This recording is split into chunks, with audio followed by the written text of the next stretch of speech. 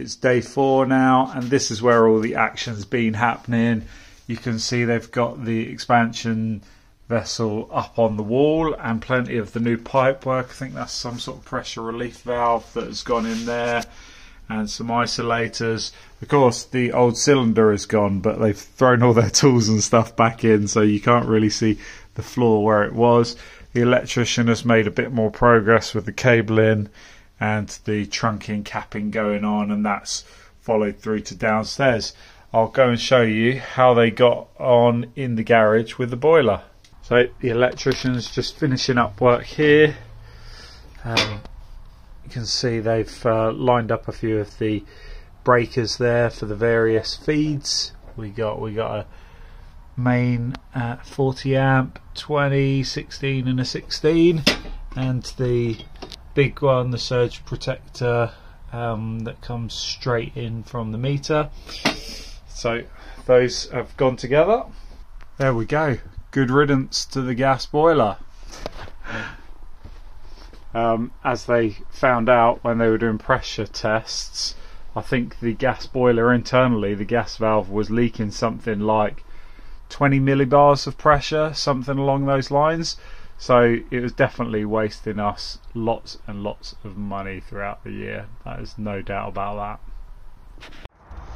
Now you can see where the incoming mains uh, comes out of the meter, comes in here, and then we're dropping. Oh, I should video what I'm doing. Comes up to here, and then you can see where it splits out. So this is for the new board, and this is for the existing uh, consumer unit. The, there's one more clamp there, but otherwise, no more work, no more uh, action for this end. So no more, um, no more plumbing has happened at the heat pump end, but the electrician's been busy. We've got two cables there. One is for the power and one is for the data. And they come around here, clamped up, and then they run all the way along, all the way. And then you see the data is going straight in there, where the controller's going to be, and power runs all the way up to the front there. So that's what we're looking like from the outside, and that's where the boiler was.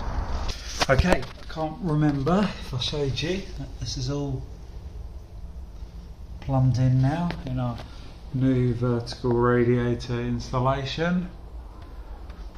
And I think I showed that it was sleeved in the 22 mil and then 50 millimeter runs that will be capped. It comes down here.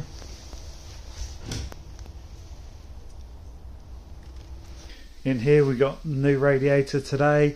So this was a Type 21 or a P plus. It was a twin panel, uh, single convector. We've gone for a double convector.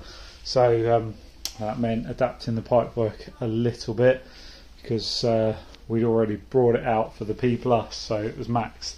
But anyway, that's a 700 high by 1400 wide. So a big boy that one. Here in the hallway we did have a 700 by 600 uh, P plus or type 21. Now we've gone for a 700 high by 1400 wide. Uh, it's still a type 21 P plus, so we haven't increased the depth at all. It's still the same depth, but of course we've uh, more than doubled the width of it, going from a 600 to a 1400, which should really help the whole hallway, the landing, and have the knock-on effect there is good stuff. And um, managed to get this end in without any modifications to the pipe work, but because of the added width, that's where the original bit came out, and had to bend it and bring it over here into the new TRV. So you can see that's because of the extension needed.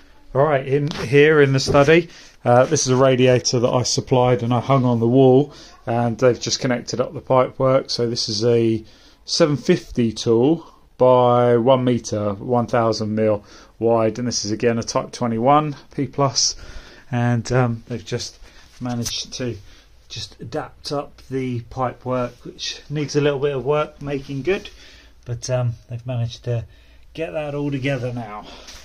So that's the end of day four. We currently don't have any heating or hot water. It's not the warmest day, but we're hopeful now they've broken the back of it. Tomorrow they should be flying.